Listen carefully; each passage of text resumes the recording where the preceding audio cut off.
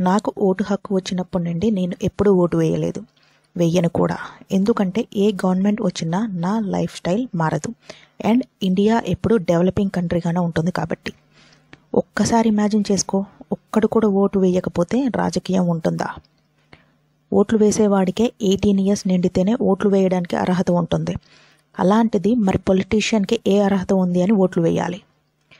Soldiers IAS IPS and any government డిపార్ట్మెంట్కి exams conduct చేసి training ఇచ్చి ఉద్యోగం ఇచ్చినట్లు పొలిటీషియన్కి కూడా ఎగ్జామ్ కండక్ట్ చేసి ట్రైనింగ్ ఇచ్చి అందులో ఫైనలైజ్ అయిన వారిని ఎన్నుకునే సిస్టమ్ వచ్చినప్పుడు నమ్ముతాను.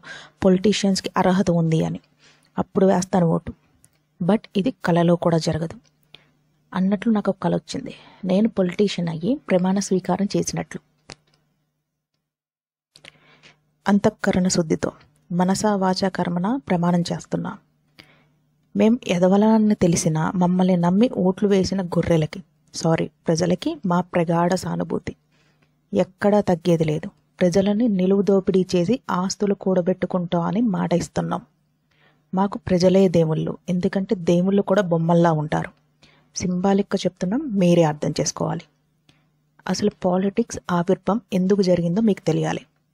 సోల్జర్స్ దేశాన్ని కాపాడతారు. కోర్టులు పోలీసులు ఐఏఎస్ ఐఏఎస్ ఆఫీసర్స్ న్యాయ వ్యవస్థని కాపాడతారు. ఇలా గవర్నమెంట్లో ఉన్న ప్రతి ఒక్కరూ ప్రజలకు సేవ చేస్తుంటే ప్రజలు కష్టపడి దాచుకున్న సొమ్ముని దోచుకునే సేవే రాజకీయం.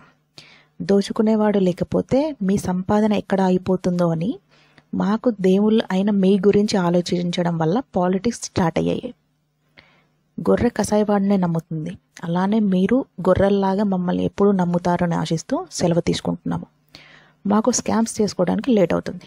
Bye bye conclusion cinema entertainment వద్దు. రాజకీయం అనే ఎంటర్టైన్మెంట్ వద్దు.